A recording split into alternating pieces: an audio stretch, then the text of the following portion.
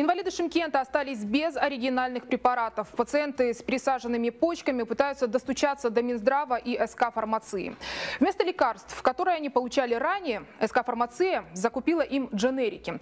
Теперь люди попросту боятся их принимать. Врачи понимают, что дженерики могут привести к ухудшению состояния больного, которому после трансплантации уж точно нельзя рисковать здоровьем. Марина Низовкина разбиралась в непростой ситуации.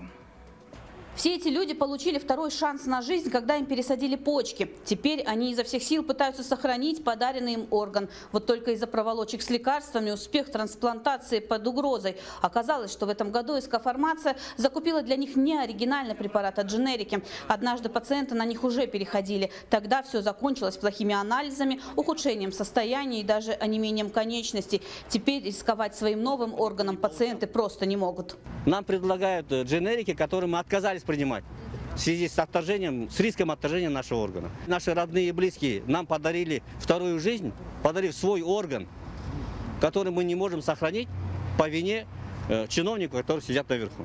Август Аскар Карабеков с пересаженной почкой живет 8 лет. Говорит, что все это время возникают перебои с поставками оригинальных препаратов и начинаются долгие переписки с Минздравом и СК фармацией. Люди недоумевают, почему нельзя решить проблему разом, ведь принимать эти препараты они должны каждый день до конца жизни. Таких пациентов в Шимкенте больше 100 человек. Удар на себя пришлось взять руководителю Горздрава, хотя на местном уровне только могут указать международное название нужного препарата, а что закупит СК фармация, порой выливается в неприятный сюрприз. Вот и сейчас, несмотря на существующий приказ Минздрава, на 21 миллион тенге закупается дженерик. На основании приказа 666 там четко написано, что все пересаженные пациенты, то есть, да, они должны принимать один препарат всю жизнь. И этот препарат должен быть оригинальный препарат. Да?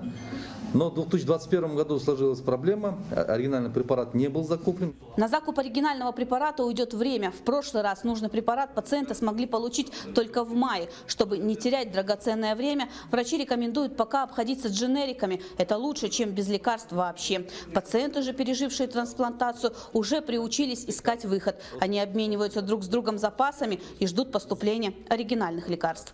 Марина Низовкина, Виталий Заинтинов, Атамикен Бизнес, Шимкент.